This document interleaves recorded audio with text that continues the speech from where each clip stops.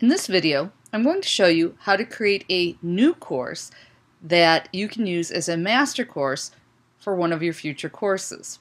Typically, when you are assigned to teach a course, as soon as somebody enrolls, there will be a section created in Canvas for you.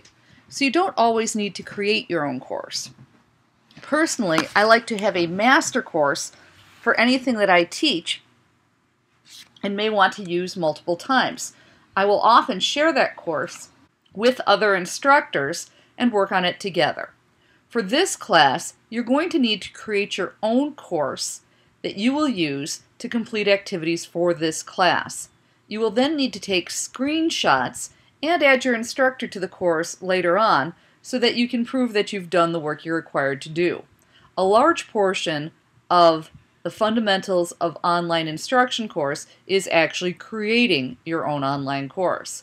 To do this, when you're in Canvas, go to Courses and Groups. If you just click on that tab, it will take you to this page where you can click Start a New Course. You're going to follow me through the creation of PRG 105 Applied Logic. This is a course that I am currently rewriting as we're moving to a new programming language to teach it in.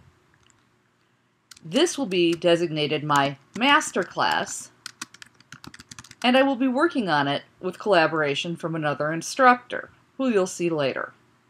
So your first step is to create your own master course for one of the classes that you will be teaching in the next semester. This is something that you should be able to use going forward. So go ahead and do this and click Create Course. That will give you a shell to work in. Once you've created the course, you may need to do a little work to make it easy to get to. In Courses and Groups, I'm going to click on Customize, and I'm going to find the course that I just created.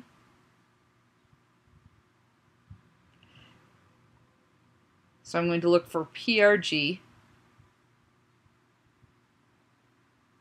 Applied Logic Masterclass, and I'm going to check it so that it appears here in my courses. I keep everything that I'm working on active, and old classes or classes that I am reviewing for other instructors are hidden. So that is your first step. Please create your new class, and then you can start the next video.